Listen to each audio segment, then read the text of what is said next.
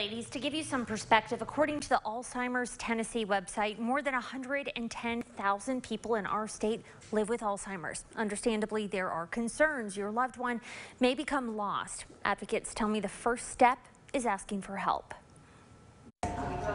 Wandering or becoming lost. Well, it's a very scary part of this disease. Alzheimer's Tennessee saying this disease is complicated. And so, um, one of the best things a caregiver can do is to be educated about things that might happen as, as the disease progresses and, and be prepared ahead of time as opposed to having to deal with um, something that happens in hindsight. Advocates say there are devices with GPS and a medical alert bracelet can be a help. Doing safety measures in the home are, is one way. Another way is enrolling a loved one at the Howard Circle of Friends which is an adult daycare. Where they are, are professionally um, watched and have activities, then the wandering tends to not be as evident. If your loved one stays home, Alzheimer's Tennessee suggests. If there's something that just sort of keeps them interested and redirected, it's a great opportunity to prevent wandering. At the Office on Aging in Knox County, they receive calls every day asking for help. It's definitely a hard conversation to have. Families struggle with it all the time,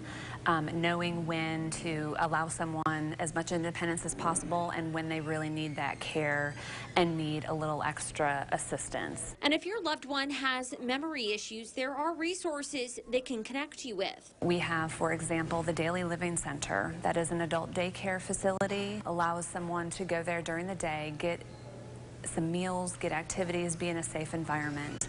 Um, we also have resources in the home such as the Senior Companion Program.